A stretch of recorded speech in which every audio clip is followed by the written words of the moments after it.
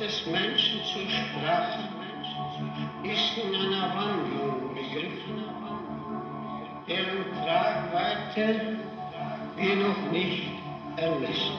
Provokationen begangen.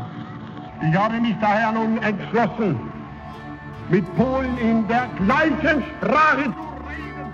mit der Polen- So it must be asked what is it that is so seductive about fascism?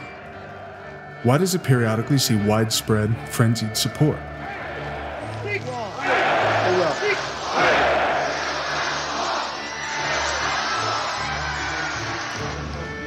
It's easy to say that only stupid people or brainwashed people or other inferior people can fall for fascism. And yet, otherwise intelligent people throw their support behind it. For instance, Martin Heidegger is widely hailed as one of the most original and influential philosophers of the 20th century. He was also a Nazi, at least for a few years in the early to mid 1930s. What can we make of his seduction by fascist thought? Can we consider his philosophy independently of his early support for fascism?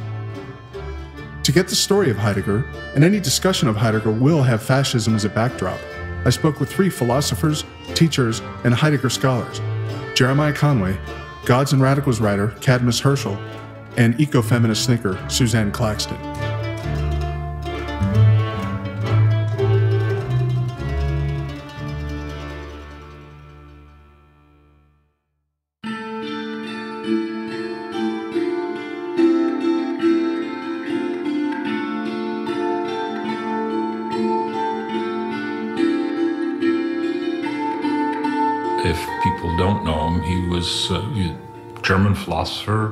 Born in Meßkirch in 1889. He dies in Freiburg, Germany, 1976. He's a prolific writer and thinker. The German edition of his works runs to about 70 volumes. Very controversial figure. There's no question uh, an involvement with the Nazis, uh, was rector of the University of Freiburg in 1933 34, and really appointed by the Nazis, not directly, but heavily influenced. So, what interested me initially, I don't admit it with great pride, is I couldn't understand him. So, he was a challenge to me. I read Being and Time, and you'd get flashes of brilliance, but large parts which I just didn't get. Eventually, you know, it's always dangerous to say, but I began to, to a degree, understand them. And I was interested then in, you know, the issues that he was willing to address.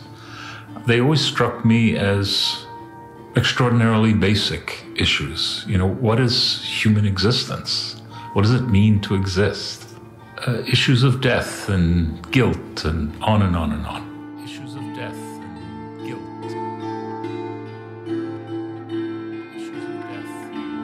I realized that one of the things that most interested me about the man was the way he thought. So, the actual way of thinking that seemed to me, for lack of a better term, meditative.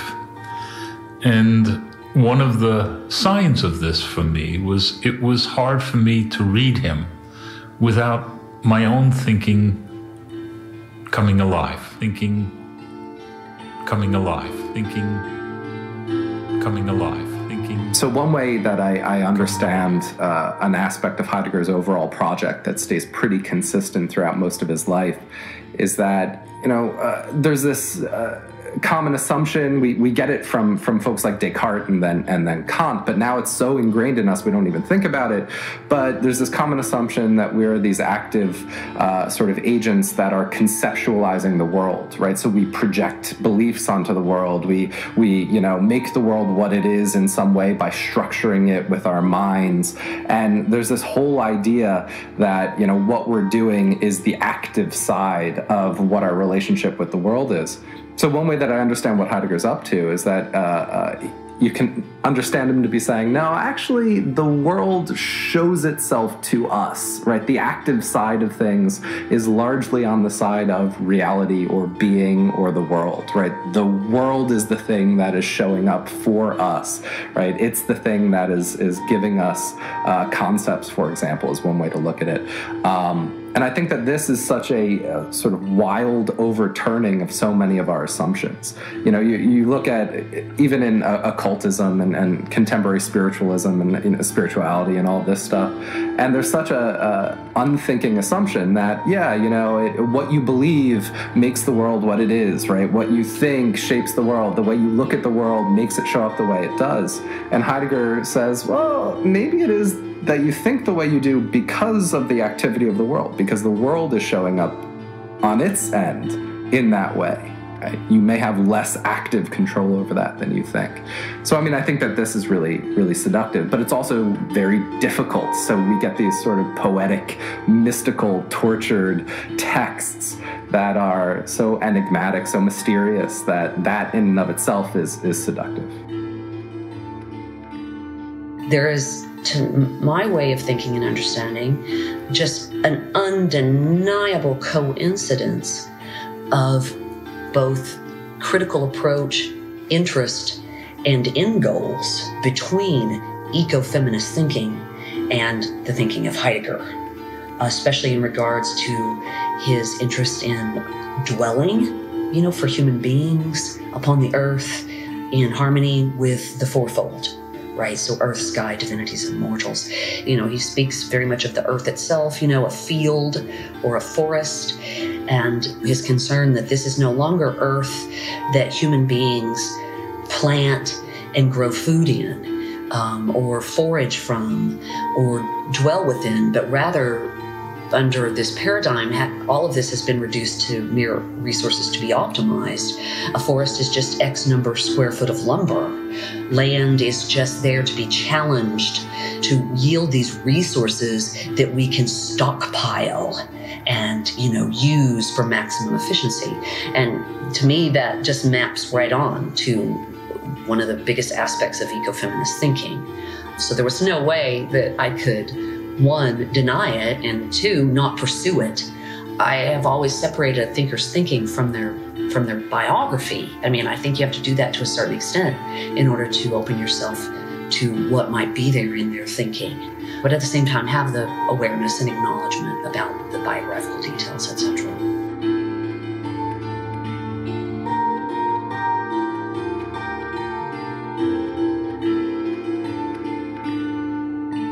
I think one thing that is difficult for us is to go back and try to realize how did National Socialism appear in the early 30s before it becomes, you know, how does it appear? How does fascism first start? When do people realize that they're dealing with it? Now, I will admit that you have Karl Jaspers and other German philosophers, not many, frankly, but some saw it much earlier than Heidegger.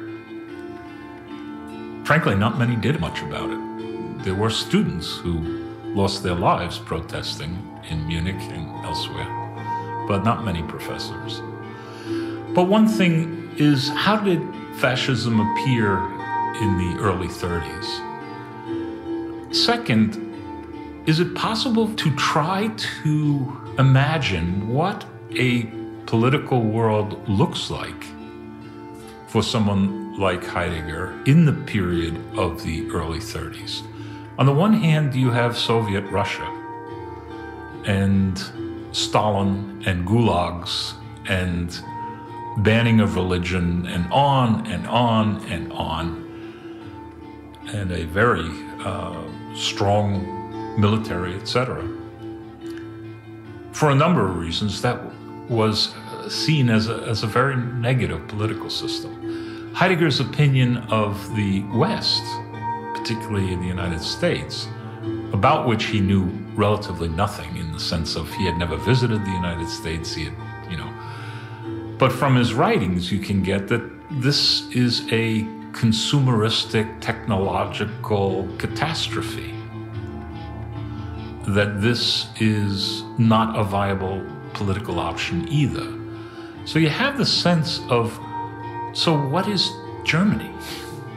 Is there an alternative between these?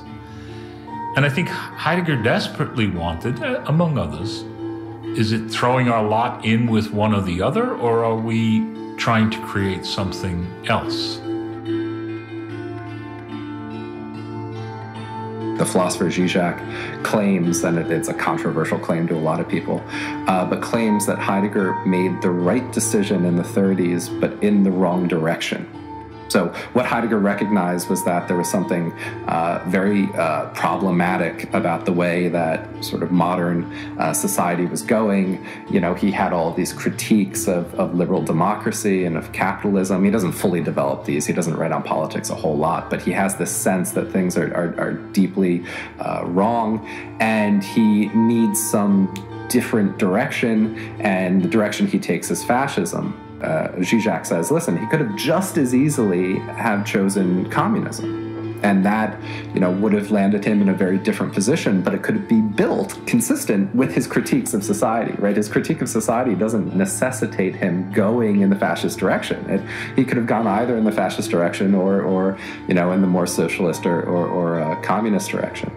And I think this is true. I think that one reason he ended up in fascism was that he thought that things were, were deeply broken in society, that there was, uh, for example, this aspect of leveling, um, this aspect of loss of meaning, that things were becoming mechanized, that we were being reduced to these isolated and therefore empty individuals, that a lot of this comes from liberal democracy. He saw all these things that are useful critiques. It's just his solution was was deeply, deeply mistaken. During his Nazi period, right, even during the period where he was, you know, rector of a university, he was officially a member of the Nazi Party, you know, he was speaking out in support, of the Nazi Party. There's a point um, when uh, someone comes to his university and gives a lecture, uh, you know, representing the official Nazi science of, you know, their race science. And he dedicates a whole class meeting of his class to explaining to his students why everything that was said at this lecture was totally wrong and stupid, right? So that was so promising when I stumbled upon that, you know, uh, several years ago. I was like, oh God, here he is. You know, he's he's critiquing the racism and the anti-Semitism of Nazism. But the problem is once you look at the Black Notebooks, you realize he was critiquing it because it was based on biology, right? He was critiquing it because the idea was that this is some sort of biological fact. However, it's not wrong from his view to think that there is really important cultural problems with Judaism and so on and so forth. So he has this sort of historicist, intellectual, cultural anti Semitism rather than a biological anti Semitism. But that's no better. The way I understand what was going on with Heidegger and fascism is that he went through a very distinct period, starting sometime in the early 30s, ending, I would argue, sometime around 35, 36.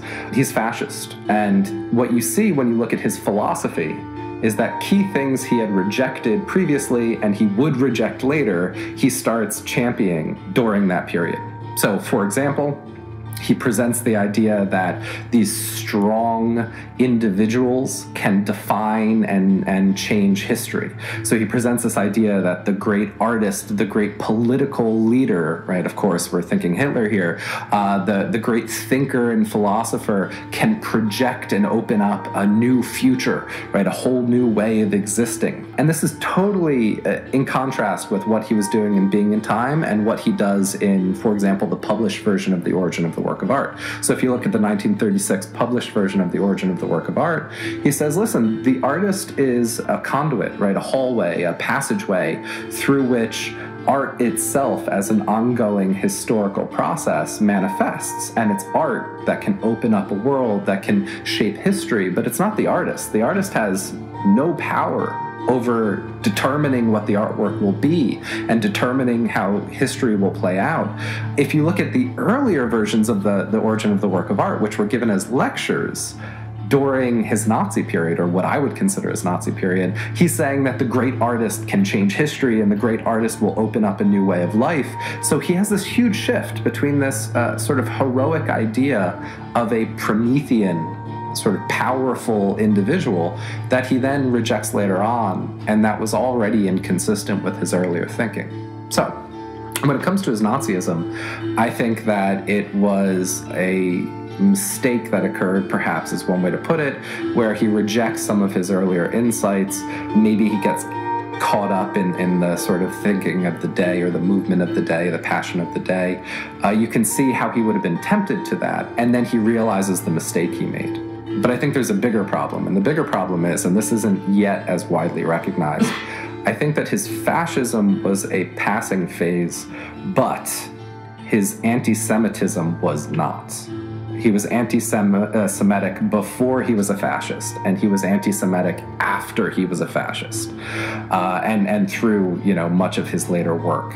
So you think about his critique of technology. Just recently, we, we've had published what are called the sort of infamous Black Notebooks of Heidegger, and these were notebooks he kept you know throughout World War II, but also throughout some of the the later period of his thinking. And when you look at that, he connects his critique of technology with these really stupid shallow, you know, obviously uh, false characterizations of what he understood as Jewish thinking and Jewish culture.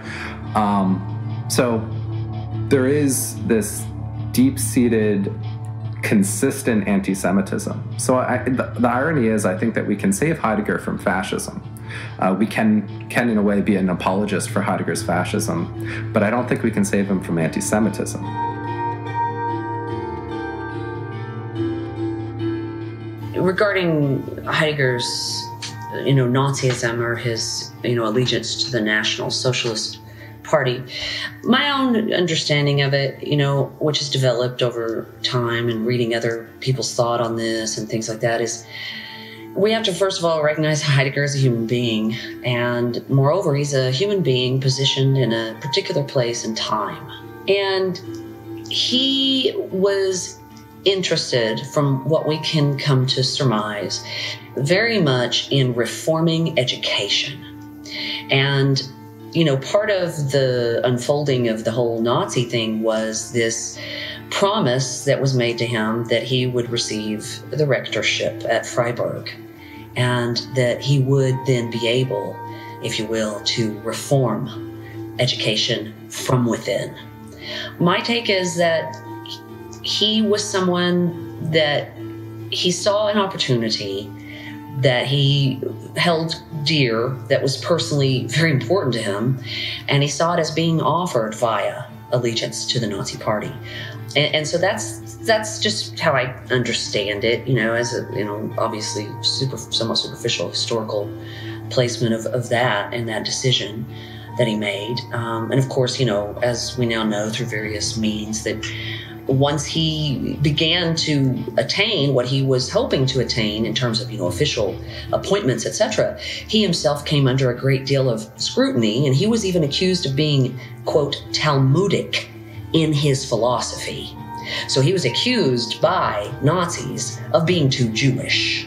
And, and so i just think that's you know something to take note of. If i were going to dismiss every thinker who ever personally engaged in some kind of politics or worldview that I find personally offensive, I would be left with virtually no one to read.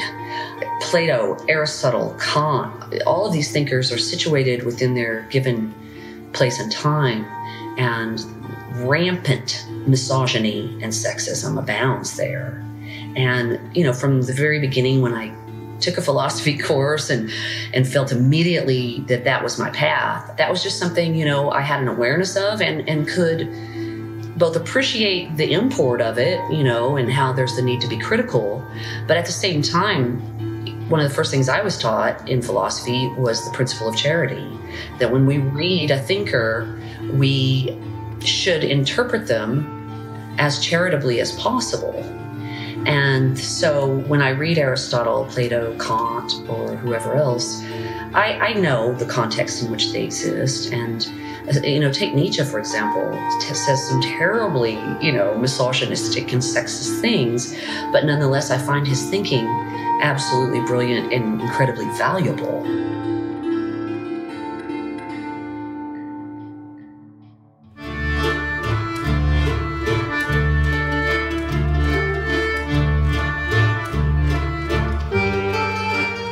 So we can go on and on with the faults of the guy. And I think one of my concerns is that at a certain point, I mean, all of those things led him towards the end of the war to a mental breakdown, to uh, he had to, he suffered for these things, whether he apologized or not. I think that's clear. And maybe I'm Pollyannish about it, but I think a lot of times people who make real changes in their thinking have to go through some traumatic events. I mean, I don't think you raise questions about the character of the thinking of an entire culture or cultures unless you begin to see the devastation that that culture has engaged in. But I, I think it's a shame if the dislike of his politics and so forth means writing off what he came to think about. I don't mean to be an apologist for him, but I'm just saying it's a shame to take someone at one point in their life and to then discount writing that occurs 10, 15 years later, or in his case, much later. You know, he died in 76. I think blindness at some points in your life can be not only overcome, but can be a means for coming to grips with what's really wrong. By the time World War II came to a close, Heidegger had been withdrawn from both the Nazis and politics in general for a decade. One of his notorious questions after the war was what did World War II really decide? When someone asks, what did the Second World really decide? You can take it as an insufferable comment by Heidegger, or you could take it what looked at from a distance, what did it really decide? Do we act differently, think differently? Are we thinking differently? Are we practicing less revenge? Are we regarding the earth as something other than a vast pile of resources at our disposal? Given these benchmarks, the Second World War settled very little. Pulled out of this philosophical context, however, the question easily seems shameful. He does that throughout his work. Heidegger often teaches by jolting. So he will say things like that, which, taken a certain way, at first blush, they seem utterly insufferable. What did the Second World War really decide? And you're talking to an audience whose town has been destroyed, whose parents have been killed, in a Europe that's devastated, on and on and on. You almost want to scream. Is he blind to that? Or is he saying, really, the forces that brought us to here, has it really caused us to change them or find alternatives? Or has it just been, we've had this horror, okay, get busy, put on a new set of clothes. We'll have Adenauer and cheer for democracy.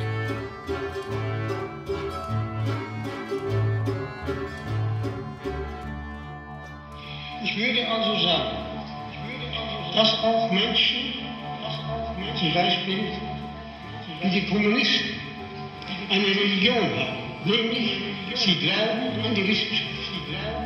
Sie glauben unbedingt an die moderne Wissenschaft.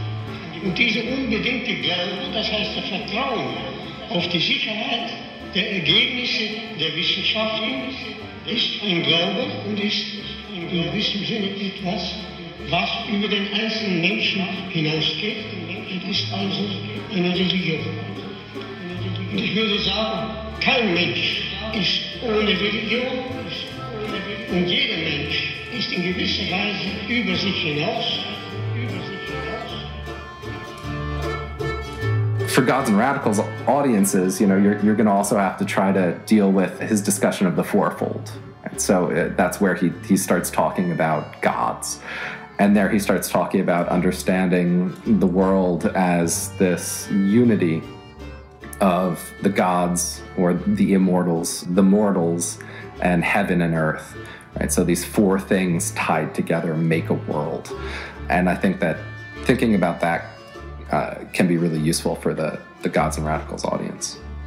He adopts that term, the fourfold, uh, in order to talk about some specific things. My first encounter with it was in the essay Building Dwelling Thinking, which anybody who's new to Heidegger, I always say, read this essay first. Just go ahead and read this and, you know, read it slowly and read it more than once. And um, if you're attuned, you're going to get a very clear sense of what he's doing. Um, but in the building dwelling thinking, for example, the, the fourfold, first of all, he says, is four, but it is one. It is primally, primordially one. Yet in our thinking, because we have it parsed out as four, we forget the oneness of the four. Of course, the four are earth, sky, divinities, and mortals. And typically represented as an X, like if you drew an X, you know, and you could put uh, divinities and sky on the top two points, right? And at the end of the diagonal line from divinities, you would put mortals. And at the end or bottom point of that diagonal line from sky, you would put earth. Now, in building dwelling thinking, you know, he discusses each of these explicitly to anyone who's already inclined to think about existence as ultimately being interdependent with all other things you know, whether they happen to be, you know, overtly environmentally minded or not. You know, if they just even have an intuitive or innate understanding that our existence as humans is completely intertwined and interdependent with the health of the earth and the things that live upon it and the movement of the stars, even though, you know, obviously we know that the sun uh, is stationary and we turn and we go, we revolve around it. But all of that is, is mentioned in that particular essay. And moreover, the way in which he speaks of the fourfold is a way in which it is abundantly clear, in my view, that the particular place of mortals, of human beings, is to harmonize in a mode of acceptance to the functioning of these other three parts of the fourfold. And by harmonizing with that, we can attain to, you know, full dwelling is how I put it in my book, just, you know, full or fuller dwelling. We leave to the weather, for example, its inclemency and its favor so the idea being that, you know, the mindful, harmonized mortal takes stock of the sky and of the patterns of weather. Is it raining right now or is it not raining? And adapts to it. And that is very different than a technologized, sort of capitalist, techno scientific approach to nature, if you will, or weather patterns, where the human, as conqueror and dominator, uh, says, Well, let's see, can't we use science to figure out a way to make nature conform to our desires? Um, and so to me, again, you know, as soon as I'm reading, you know, this essay many, many, many years ago, that was some of the first, you know, first strong strikes of it for me was just that he is talking about a way of existing that arguably has not existed in a very long time, except, you know, in what we would call, you know, so called primitive people, right? Uh, people who are still, you know, living off the land, if you will, and with the land and the earth.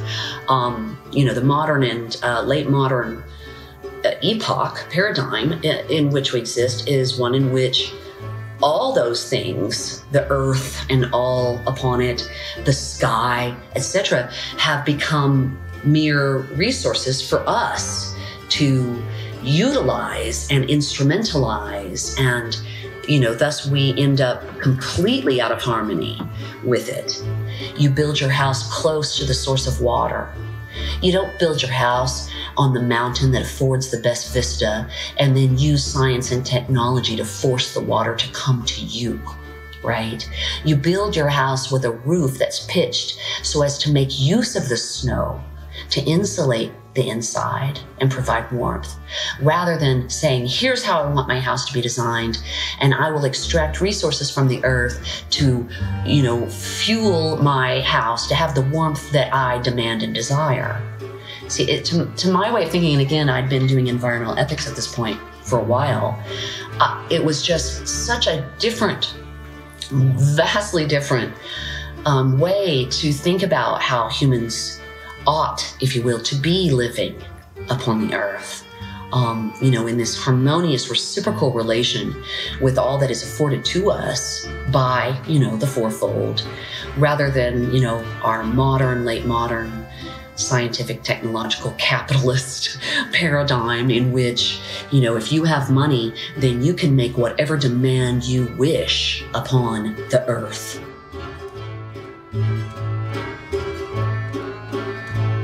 I think for Heidegger, to dwell is to belong to something larger than yourself, to live in such a way within a place that it's clear that you literally belong, such that you appreciate your interdependence with other things. I mean, dwelling is impossible without interdependence. And dwelling seems to be a manner of living which manifests, cares for, respects that interdependence. Once you say interdependence, it seems to me you've already cast doubt on our characteristic way of living in the world which in the modern terms is it's there so that we can use it. Heidegger goes so far as we dwell in it as if we are gods. I mean, the, the, the world revolves around us. That is the polar opposite in some way of dwelling. So, dwelling relies upon this development, this cultivation of, of deep sense of interdependence.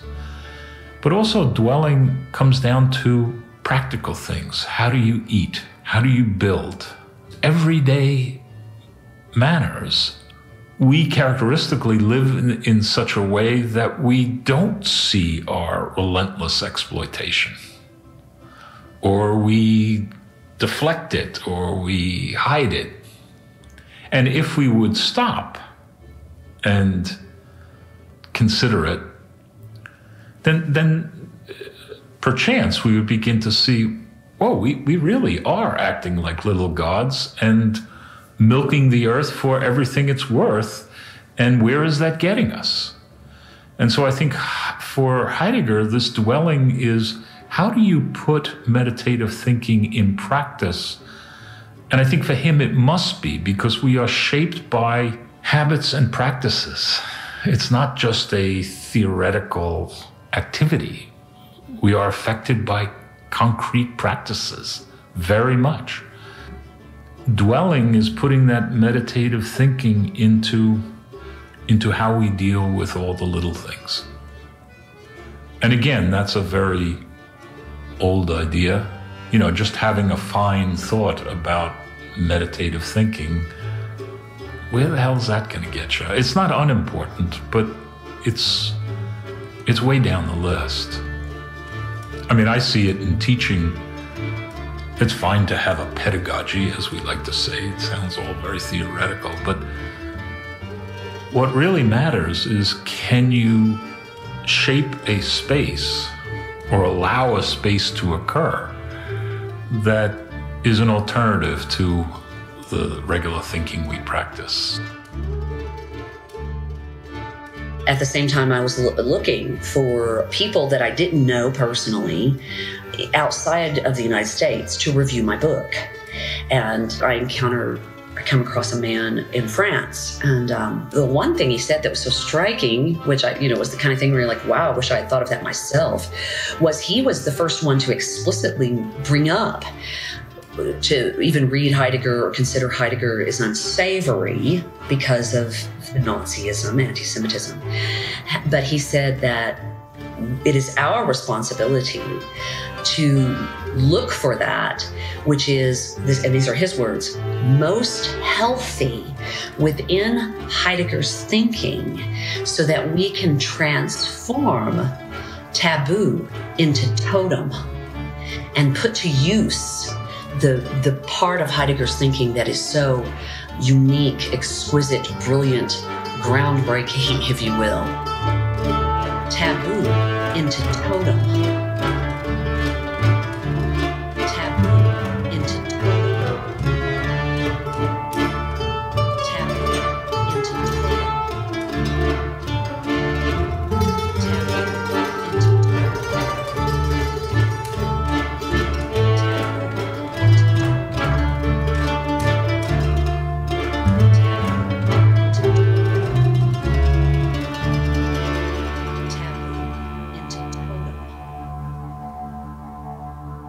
Mich haben die Erfahrung, mich die Erfahrung meines Denkens, meines Denkens.